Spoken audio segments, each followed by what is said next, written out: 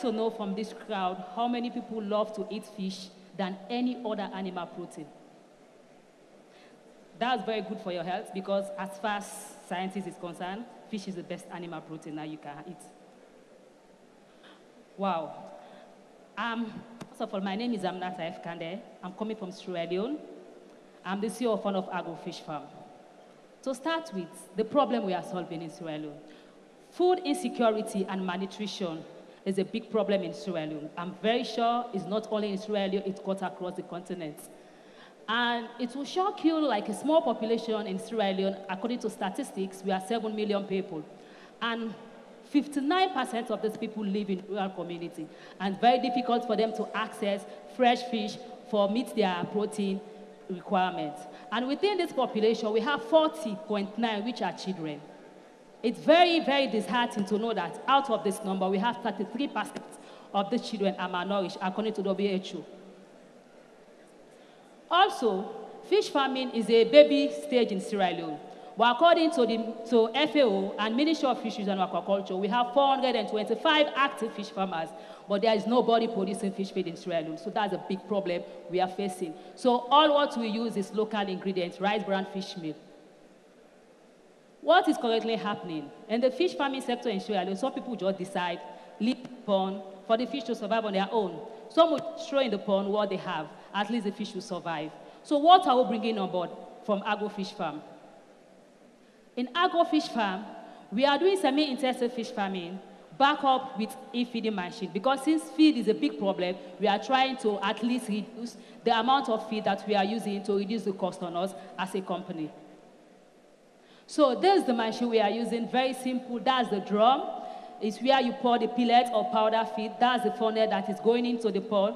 And that white side is where you regulate the, the amount or the time you want the feed to be distributed in the pond. If you want the machine to feed the fish at every four hours, it's very okay. But what is very interesting about this, about this e-fishing machine we are using, there is a meter down in the pond that will tell you the appetite of the fish by the time, by the amount of time they touch that metal. So this machine does not only feed the fish, but it gives them the required amount of fish they need. So by so doing, we're able to increase our growth rate and reduce the amount of cost we spend on feed.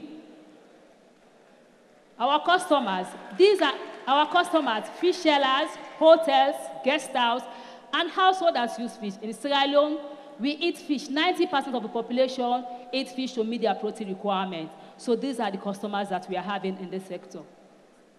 So these are our competitors. We have two key competitors because fish is fish. We have the cold fish farmers and the frozen fish sellers. Because in Sierra Leone, we have big, big trailers that go out in the sea and fishing and store their fish. So these are one of the competitors. We have cold fish farmers. But what's the edge over then? One, my availability is guaranteed. I have access over my products. Then also, accessibility. For me, I don't sell only wholesale, but these frozen people only sell wholesale. I sell retail, I sell wholesale. And lastly, technical know-how we have little, our competitors have little or no idea. As for me, I have BS in aquaculture and fisheries management, so I know both the practical and the theoretical part in fish farming.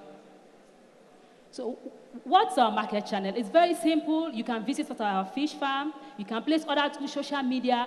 We can do delivery depending on the quantity of fish you buy from us. And also, you can do normal call like, okay, we want this amount of fish and we can deliver so our business model is very simple. We do business to business. Like we said, to big hotel. I have a hotel by the name of Duas that we do supply. And we also have those fisher women that do sell in the market. We do supply them as wholesale. Then we do B2C, which has normal customers that just want to buy for their daily consumption.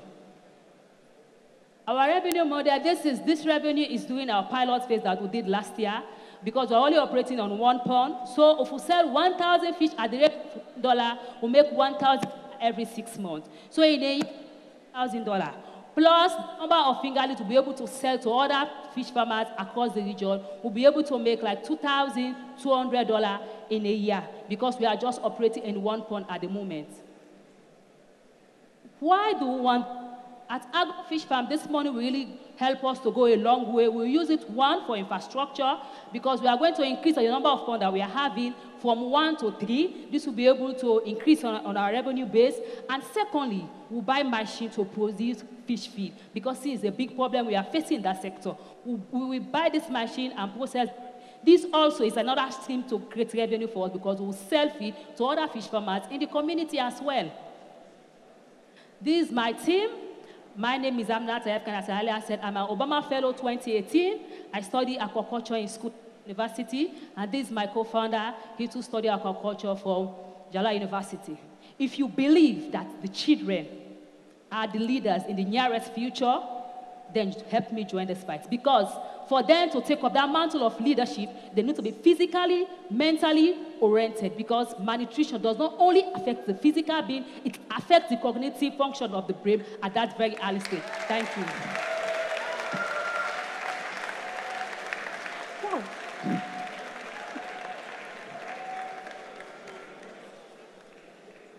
That was fantastic. Thank you. Ooh.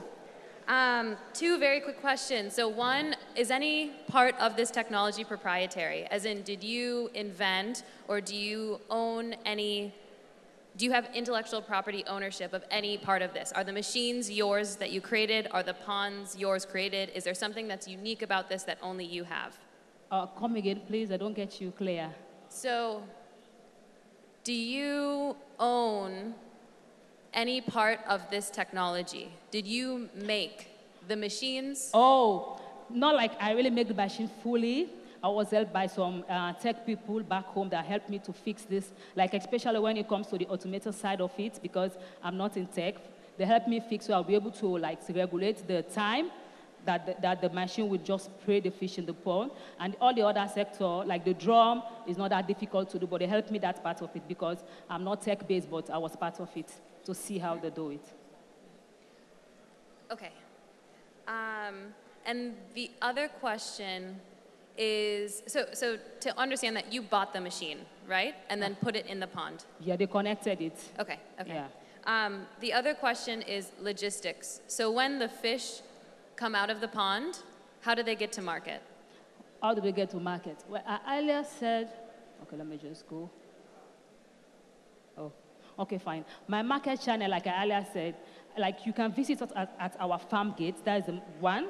Secondly, you can place order because like for big hotels and restaurants, like they will tell you, okay, for example, because since it's, it's, an agricultural base, you cannot produce every day. It's a doing of, okay, they will say, for example, at this time, we need like this amount of quantity. So they will place order like maybe two or three months higher, like you'll be producing for, the, okay, this one we need like 500 fish at this time. So by placing order, we can give them. And also through phone call.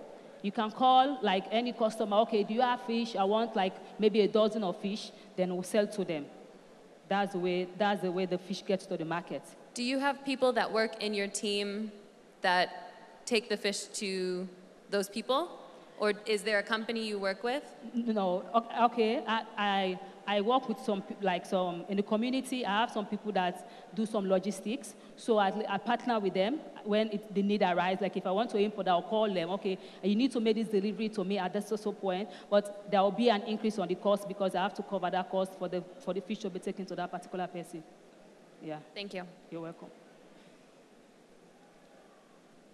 Hello. Hi. So well done. Uh, just a simple question. What would you say are the three major key challenges you are facing as a startup and specifically in this sector? In that sector, yeah. One is the knowledge because in back home, fish farming is a baby stage, so that's why most people back off. The skill base to presently, like I'm um, just calling people that have the passion because we don't have people that are well skilled in this sector back home because the school is barely five years old to six years old that I study from. So skill is one. The second feed is the biggest problem, fish feed, like I mentioned earlier. Feed is the biggest problem and it's also, it's almost consumed like 70% of your expenditure because the pond and the other thing is a one go. After you construct the pond, you have no problem with that, but the fish have to eat every day until you harvest them. So feed is one. And second, the last one is uh, I think these are the two. The last one is uh, around like the technology. For example, to do a test of the water, during the pilot phase, I have some mortality because to get somebody like to test the area for you, to test the quality of the water, these are two key three key challenges that I'm facing in the sector back home. Hi, thank you. Um, so what is the cost to you to set up a pond? The cost I used to set up a pond.